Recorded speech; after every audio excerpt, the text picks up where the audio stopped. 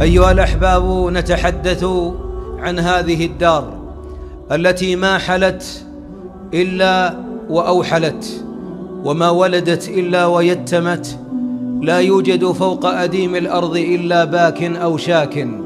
إنها دار سجنها طويل مديد.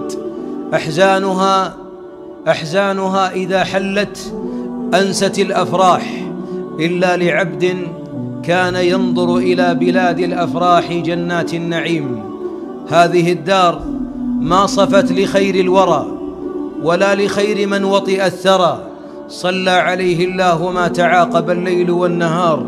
سال دمه وسال دمعه وفاضت عبرته وشج رأسه وكسرت رباعيته وجاع فيها ولحقه الهم والدين وعذب أصحابه وهم على جذوع الشجر وما كان ينادي بعضهم إلا برسائل الفرح التي تعقب الصبر.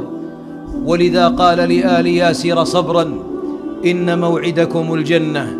هذه الدار أيها الأحباب من لم يفهم حكمة الله جل وعلا يوم أن خلقها ويوم أن قدر أقدارها وقدر أوقواتها وأخبرنا أنا إليه راجعون وأننا سنرد إلى الله مولانا الحق جل وعلا.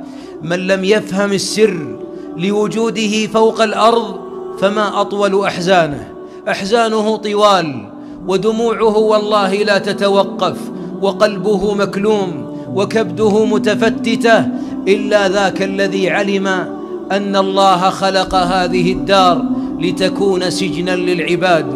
ولذلك عز أحد الصالحين أخا له قد مات ابنه قال ابنك أخرج من السجن إلى جنات النعيم أيغضب عبد أخرج فلذة كبده من السجن احزن على نفسك يا من لا زلت في سجن الحياة أما من رد إلى الله فإنما قابل الحق جل وعلا وربي جل وعلا خلف من كل مصيبة.